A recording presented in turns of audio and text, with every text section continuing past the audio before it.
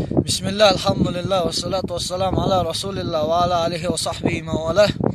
Assalomu alaykum hurmatli akalar, ukalar, yaqin do'stlar, birodarlar.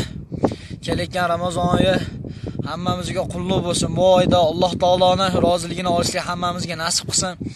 Avvalo sizlardan so'raydigan iltimosimiz shu bir yil ichida yaqin do'stlarimizni, birodarlarimizni, aka-ukalarimizni dilini og'ritgan bo'lsak, bir xafa qilgan bo'lsak, obro'sini birovni oldida to'kib qo'ygan bo'lsak, avvalo uzr so'raymiz. Biz sizlarni Alloh uchun kechirdik, sizlar ham bizni Alloh uchun kechirib qo'yasizlar. Assalomu alaykum va rahmatulloh.